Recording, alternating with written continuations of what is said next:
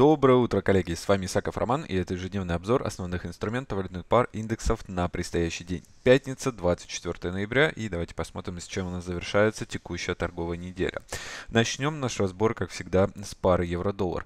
А, по паре евро-доллар мы видим торговлю вблизи области сопротивления, которую мы видели на максимум 15 ноября, пока пара евро-доллар не смогла преодолеть данный уровень, но тенденция в рамках часового таймфрейма на текущий момент остается восходящая. Ближайшая цель это закрепиться выше отметки 1.1856 и далее уже пойти на 1.19 и 1.20. Возврат к продажам, а значит начало коррекционного нисходящего движения по данной паре произойдет в том случае, если мы увидим закрепление ниже минимальных значений, которые мы а, видели в области 1.1812. Вчера а, 23 ноября.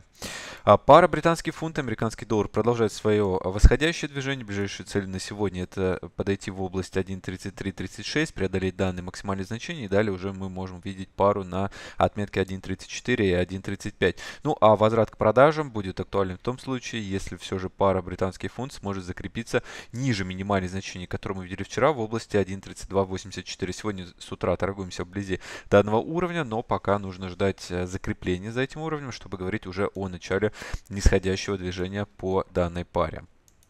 Пара американский доллар, канадский доллар сегодня с утра торгуется выше максимальных значений, которые мы видели вчера. Пока полноценного закрепления и преодоления да, за данным уровнем мы не увидели, поэтому тенденция пока остается на э, снижении. Если все же канадцу удастся закрепиться выше данного уровня, то вероятно начало вновь восходящего движения по паре американский доллар, канадский доллар с целями движения в область 1.2836. А пара американский доллар, японская иена сегодня с утра торгуется выше э, максимальных значений, которые были зафиксированы вчера в области 111 37 мы видим закрепление за данным уровнем, что в свою очередь в рамках часового таймфрейма возвращает нас пока к покупкам по данному инструменту. Ну а возврат к продажам произойдет в том случае, если мы увидим закрепление ниже отметки 111.05, минимум, который был зафиксирован э, вчера. А пара австралийский доллар, американский доллар вчера доходила до максимальных значений в области 76.37. Пока тенденция остается на укрепление в приоритете в рамках часового таймфрейма. Ну а возврат к продажам может произойти в том случае, если мы увидим пару австралийский доллар, американский доллар ниже отметки 76.03, минимум, который был зафиксирован вчера.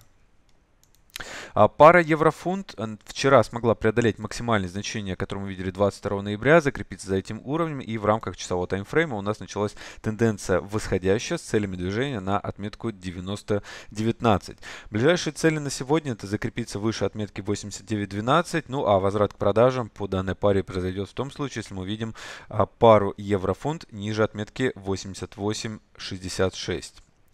Золото продолжает укрепляться. Цели на сегодня это закрепиться выше максимальных значений, которые мы видели вчера в области 1293 доллара за тройскую унцию, ну и далее уже пойти на 1304.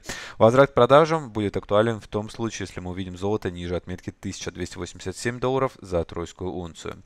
А нефть марки Brent также продолжает укрепляться. Ближайшие цели это остаться выше отметки 63.52, максимум, который был зафиксирован вчера, ну и далее уже пойти на, в область 64.72. Тенденция на укрепление сохраняется.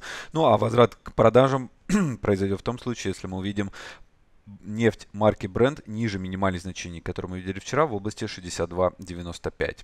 А по индексу DAX пока тенденция коррекционно нисходящая сохраняется. Ближайшие цели это движение в область 12907 и далее уже а, в область 12693. Возврат к покупкам, а значит и возврат к основному движению по данному активу произойдет в том случае, если мы увидим индекс DAX выше отметки 13055 и закрепление за данным уровнем. А, ну и а, биткоин сегодня с утра смог преодолеть минимальные значения, которые мы видели вчера а в области 8088 долларов за один биткоин, скорректировались до отметки 7800 и сегодня сейчас немного подрастаем выше цен открытия, но пока в рамках часового таймфрейма тенденция остается нисходящая. Пока в рамках часового таймфрейма тенденция остается нисходящая. В том случае, если мы видим а, биткоин выше максимумов, которые были зафиксированы вчера 23 ноября в области 8281 доллар за один биткоин, то уже вероятно возобновление тенденции восходящей по данному инструменту и движение к новым историческим максимумам.